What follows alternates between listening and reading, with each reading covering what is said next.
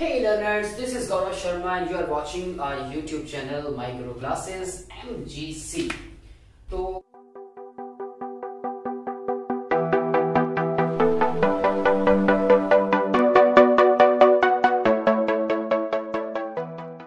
तो आज जो हम लोग बात करने वाले हैं इसमें वो क्लास इलेवेंथ और नीट के एस्पिरेंट्स के लिए बात करने वाले हैं आपके फ़र्स्ट चैप्टर क्लास इलेवेंथ के बायोलॉजी से इसका नाम है diversity in the living world right तो लिविंग वर्ल्ड क्या है बच्चों? लिविंग वर्ल्ड क्या है? जहाँ लिविंग बींग्स हैं और उनके कुछ कैरेक्टरिस्टिक फीचर हैं जो सिर्फ़ उन्हीं के अंदर हमें देखने को मिलते हैं। या कई कैरेक्टरिस्टिक फीचर्स ऐसे भी हैं जो हमें कुछ लिविंग और नॉन लिविंग दोनों के अंदर देखने को मिलते हैं।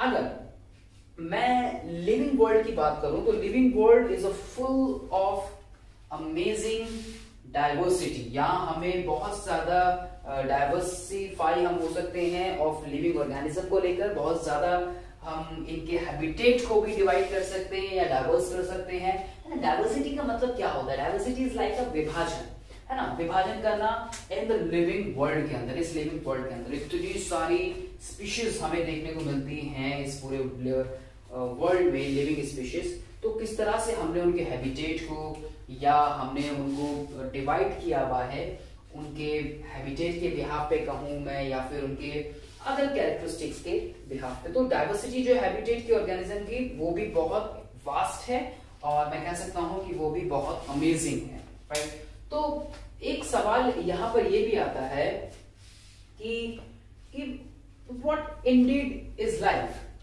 क्यों है मतलब लाइफ किस लिए है? तो जो जो लिविंग लाइफ है, वो क्यों है? हम लोग क्यों बात करते हैं? इसमें हम लोग क्यों पढ़ रहे हैं लिविंग वर्ल्ड के बारे में?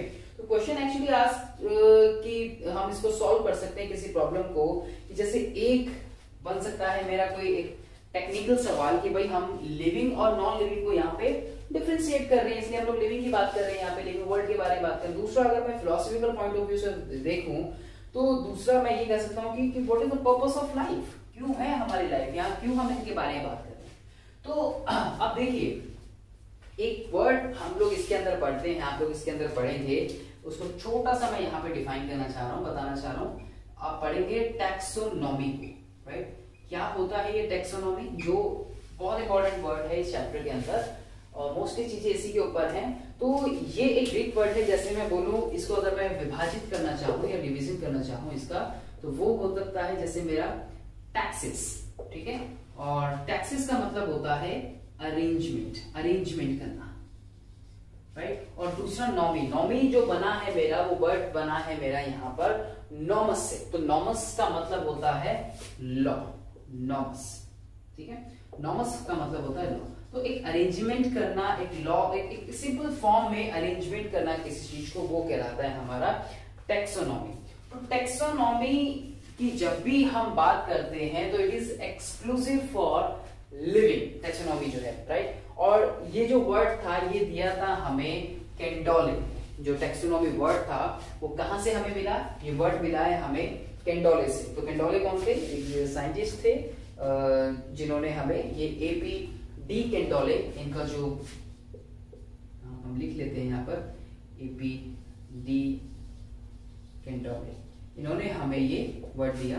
टेक्सोनॉमी तो टेक्सोनॉमी की जब भी हम बात करें लिविंग थिंग के बारे में बात करें, और फादर ऑफ़ प्लांट और एनिमल टेक्सोनॉमी की जब हम बात करते हैं, जो फादर हैं इसके प्लांट एंड एनिमल टेक्सोनॉमी के जो फादर हैं father of plant and animal taxonomy तो वो हैं सरकार लिनियस तो वो हैं सरकार लिनियस ठीक है?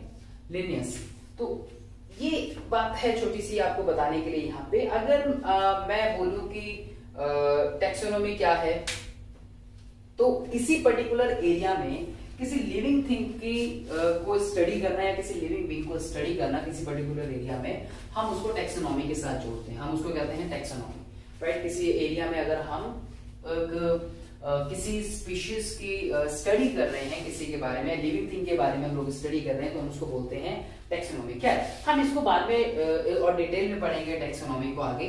अभी हम इस नाम पर आते हैं वापस तो मैं थोड़ा सा बताना चाह रहा था कि हम लोग इसके अंदर टेक्सोनॉमी को ज़्यादा पढ़ेंगे, एक सिस्टमैटिक अरेंजमेंट होता है सब चीज़ों का, जब हम टेक्सोनॉमी की बात करते हैं. तो diversity in the living world जो है तो डायवर्सिटी हम किसी भी चीज़ में कर सकते हैं. देखो diversity in the living world अगर आप इस पे ध्यान दो तो क्या है diversity in the living world तो इसका मतलब कि ऐड करने का मतलब क्या है कि डायवर्सिटी नॉन लिविंग में भी पॉसिबल है।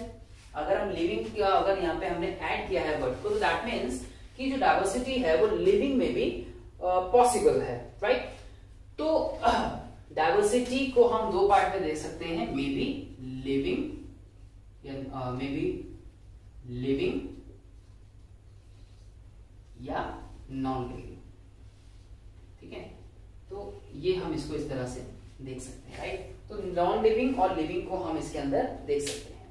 सो so, आप आ, हम जो इसमें देखेंगे हम देखेंगे एक डिफाइनिंग प्रॉपर्टी किसको कहते हैं? आप देखते हैं कि लिविंग के जो कैरेक्टरिस्टिक फीचर होते हैं वो आपको कौन कौन से देखने को मिलते हैं? लिविंग के कैरेक्टरिस्टिक फीचर आप किस किस को बोलेंगे ठीक है? तो what is living actually right what is living what is living living क्या है दोस्तों? लर्नर्स लिविंग क्या है? लिविंग के अंदर आपको क्या क्या देखने को मिलेगा? आप किसे कहेंगे कि लिविंग है? टू मच कंफ्यूजिंग वर्ड्स जो है वो यूज़ किए गए हैं एनसीआरटी के अंदर भी। जैसे अगर मैं बात करूँ कि भाई कुछ वर्ड्स हैं, जैसे मैं जैसे बोलूँ कि कैरेक्टर एक वर्ड मैंने बोला। ठीक है? कैरेक्टर मैंने बोला राइट एक वर्ड मैंने बोला फीचर्स ठीक है? या एक वर्ड मैंने बोला इसमें डिफाइनिंग प्रॉपर्टी तो ये देखो जरा, इन तीन वर्ड्स को देखो ध्यान से। ये तीनों को अगर मैं देखूँ this all are almost same पर एनसीआरटी ने कंफ्यूज कर दिया। तो कैरेक्टर ऐसा, जो कैरेक्टर ऐसा जिसमें कोई एक्सेप्शन ना हो या विदाउट एक्सेप्शन हम ढूंढ रहे हैं नो एक्सेप्शन उसको हम बोलते हैं डिफाइनिंग प्रॉपर्टी हम, आप ढूंढ रहे हैं, इसमें एक वर्ड हम देखेंगे कि एक लिविंग की डिफाइनिंग प्रॉपर्टी किसे कहते हैं?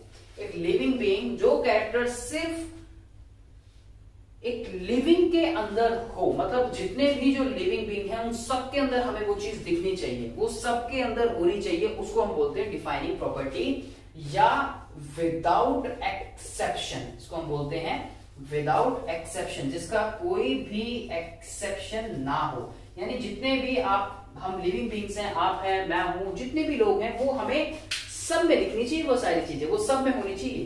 तब तो हम बोलते हैं उसको डिफाइनिंग प्रॉपर्टी राइट तो डिफाइनिंग प्रॉपर्टी क्या है यहाँ पे? ऐसा character which has no exception उसको हम बोल रहे हैं डिफाइनिंग प्रॉपर्टी ऑफ़ लाइफ या डिफाइनिंग प्रॉपर्टी हमारे, ठीक है? तो अब कौन कौन से देखो कैरेक्टर फीचर समझना भाई, एक ही चीज़ बता रहे हो आपको, ठीक है? तो डिफाइनिंग प्रॉपर्टी का मतलब है सिर्फ़ यहाँ पे विदाउट एक्सेप्शन तो कैरेक्टरिस्टिक्स कौन कौन से होते हैं? लिविंग ऑर्गेनिज्म के राइट तो कैरेक्टरिस्टिक के बारे में हम लोग यहाँ पर बात कर रहे हैं। कैरेक्टरिस्टिक्स ऑफ़ लिविंग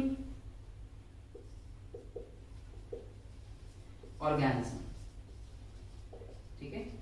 तो कौन कौन से कैरेक्टरिस्टिक्स हमें देखने को मिलेंगे? जैसे मैं कहूँ कैरेक्टरिस्टिक्स कौन कौन से मेरे को देखने को मिलेंगे? जैसे नंबर वन ग्रोथ मेरे को देखने को मिलती है। अभी हम बताएँगे कि डिफाइनिंग प्रॉपर्टी कौन सी है। ग्रोथ हो गई। ग्रोथ के बाद अगर मैं बात करूँ तो रिप्रोडक्शन ये भी देखने को मिलता है हमें, बिल्कुल मिलता है। लेकिन हम देख रहे डिफाइनिंग प्रॉपर्टी को हम देखेंगे भी। उसके अलावा हमें देखने को मिलता है cellular organisation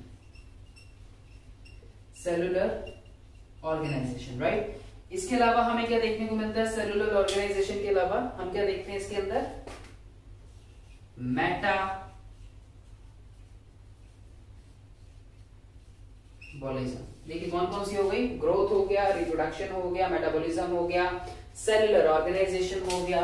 इसके अलावा एक और जो होता है, वो होता है कॉन्शियसनेस कॉन्शियसनेस राइट ये सारे ये कैरेक्टरिस्टिक्स हैं। ये सारे क्या है? Characteristics of living organism but इनमें से हमें देखना है कि कौन सा एक डिफाइनिंग प्रॉपर्टी को शो करता है या डिफाइनिंग कैरेक्टर को शो करता है या डिफाइनिंग फीचर को शो करता है ठीक है? तो ये हम खोजेंगे इस को सवाल को। आ, मिलते हैं हम लोग अपने नेक्स्ट पार्ट में। वो बताने के लिए कि आपको इसका डिफाइनिंग प्रॉपर्टी एक्चुअली कौन सी है? एक लिविंग बीइंग की। लिंक डिस्क्रिप्शन में है फटाफट से नेक्स्ट पार्ट पे आइए। Thank you